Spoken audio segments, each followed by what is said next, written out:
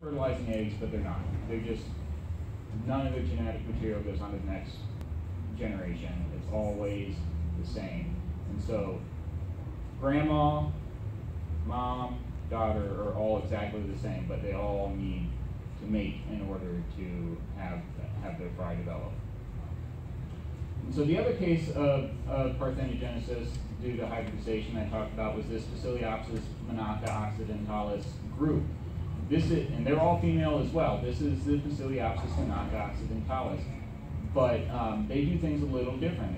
This is a type of parthenogenesis that's called hybridogenesis.